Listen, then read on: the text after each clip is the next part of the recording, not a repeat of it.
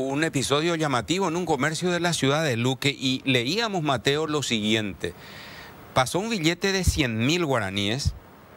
Los propietarios del comercio donde se estaba haciendo la transacción notaron que el billete no era legal, pero pensaban que la mujer que intentó hacer la compra de algunos artículos era una víctima más. Pero ¿qué pasó después, Mateo?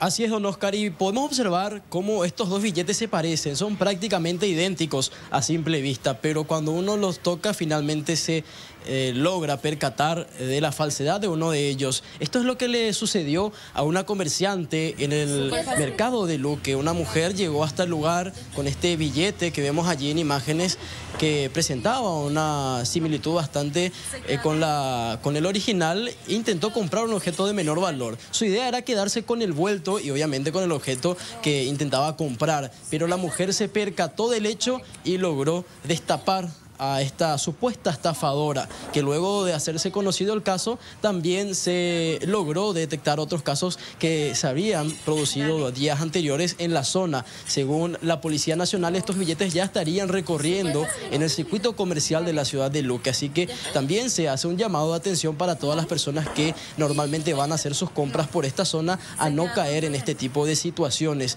La mujer intentó detenerla a esta la comerciante intentó detenerla a esta mujer, pero finalmente ella logró huir. La policía está en busca eh, de la identificación tanto de ella como también de una persona que le estaría ayudando, que presumen sería su pareja. Esto decía Margarita, la mujer que casi cayó en la trampa de esta mujer.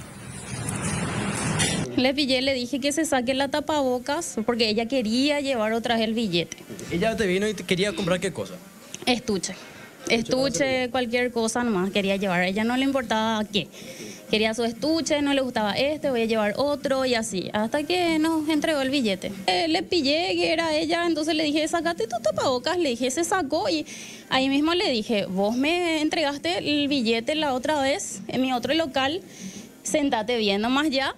Voy a llamar 911, eh, le dije. Y no, yo no fui, ya no fui, me dice. Si vos fuiste porque tengo video de vos, le Y voy a llamar a 911. Entro para sacar mi celular, ella ya se fue.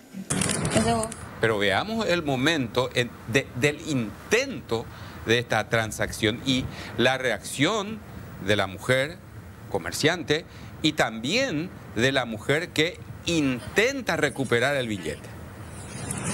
Es de vos. Súper fácil. Dale. Ya está ya. Anda, no. ¿Y no puedo llevar eso? No. ¿No? Se queda conmigo ya está. Ah, bueno. ¿Y quieres ahora Sí, dale.